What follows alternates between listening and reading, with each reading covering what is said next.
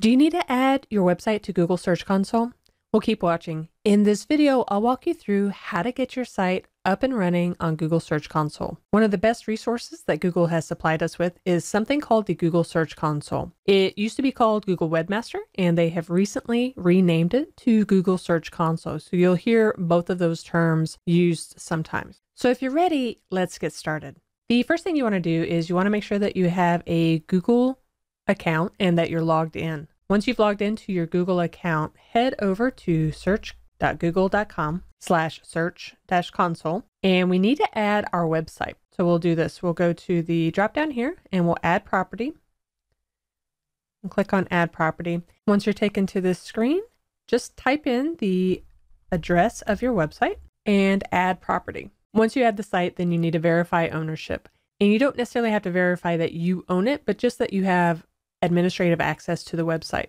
They give you a recommended method, but let's look at the alternative methods.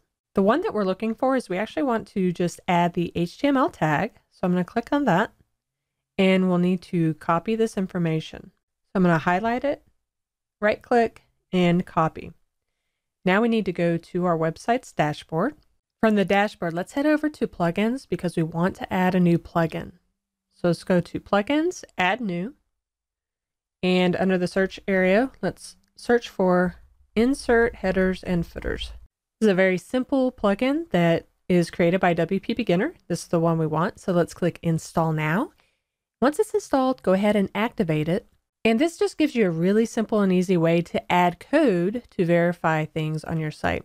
So now that it's here, we can go under settings, go to insert headers and footers, and that bit of code that we copied, let's go to the header area right click and paste. Now that that's here, we can save that. Settings have been saved, so we've added it successfully to our site. Now, a second method you could use to add this piece of code to your site is by using a plugin that you probably already have installed, and that's by using the Yoast SEO plugin. To connect your site with Search Console using the Yoast plugin, head over to your dashboard, go down to SEO, click Dashboard, from here, we have a tab up here called Webmaster Tools. When we click on that, we have three different Webmaster Tools we can connect to. We want to connect the Google Search Console. So we'll just click into this area, right click, and paste that bit of code. Once we do that, we can click Save Changes. And for either of the plugins that you use, the next step will be the same.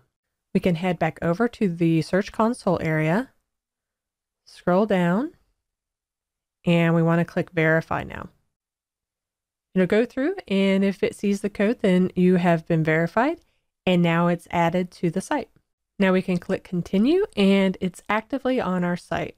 It will take a couple of days for the data to show up here. So you'll want to come back in a couple of days and you can start seeing the performance of your website. Did you learn something from today's video? If so, subscribe to our YouTube channel and we'll send more helpful tips to help you manage your WordPress website. And thanks for watching.